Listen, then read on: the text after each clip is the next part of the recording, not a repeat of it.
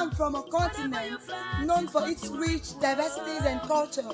I am from a nation known for its green and fertile land. Do you know what I am also? I am part of the Lady Mitz Foundation.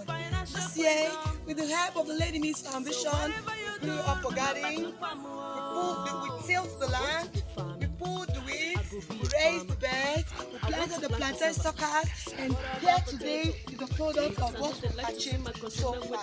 Hello. I am for and on behalf of Ubuntu training farmer.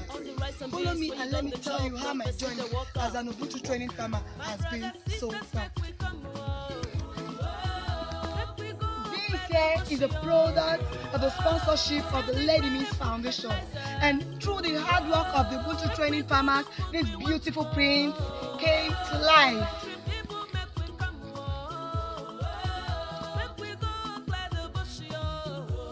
We planted crops like plantain here in this farm, palm fruit and coconut in the other farm.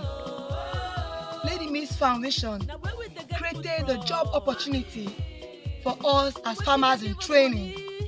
It's been six months since we started and the past six months has been the best for all of us at the Lady Miss Foundation. She has taken good care of us both morally and financially.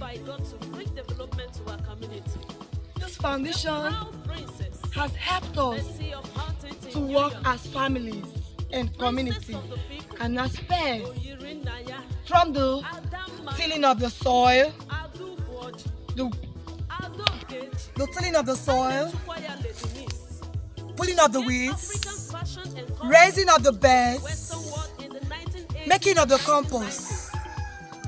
This foundation has helped us apart from the relief items given to us during the pandemic lockdown. This foundation has been made us to know more about agriculture. It has made us to work as families.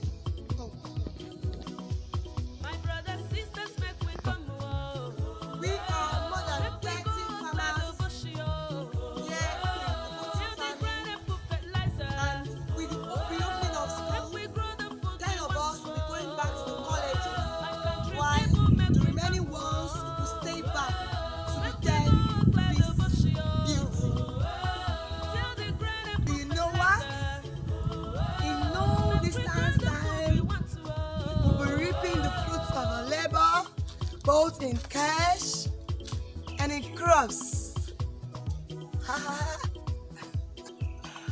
God bless Africa. God bless Ubuntu. God bless Lady Miss Foundation. So far, the main challenge we are having here in the farm is that of water supply.